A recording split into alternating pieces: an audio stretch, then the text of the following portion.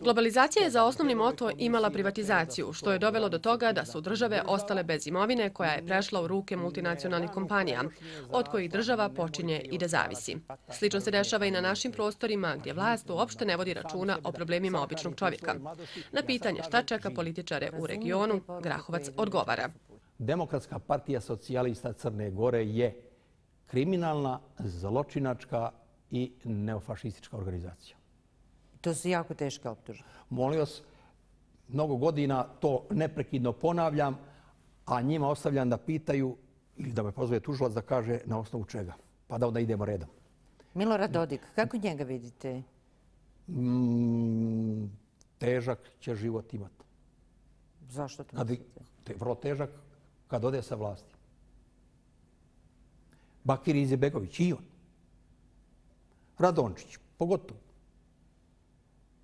Sad sam, da ne idem dalje redom. Da, imaće težak život. Onda kad odu sa vlasti, kad im počnu e, utvrđivati odgovornost, imaće težak život. Parlamentarizam je danas izgubio smisao, kaže Grahovac i navodi da smo mi danas duboko u zoni neofašizma, jer nismo završili ni jednu revoluciju. Niko ne analizira zašto je razbijena Jugoslavija. Niko se ne usuđuje ući u taj rizik, jer se stiže do ljudi koji imaju vlast na eksiju prostorima, tvrdi Grahovac. Ne odgovara im nikako e, da se sazna istina, jer se na njima alati vladanja uzimaju iz ruku.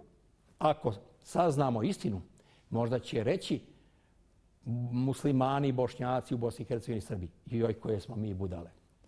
A ja kažem, jesmo budale.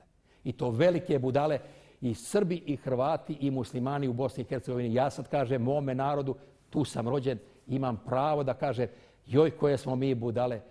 Zato što nas dripci koji toliko godina rade to što rade i dalje zavađaju.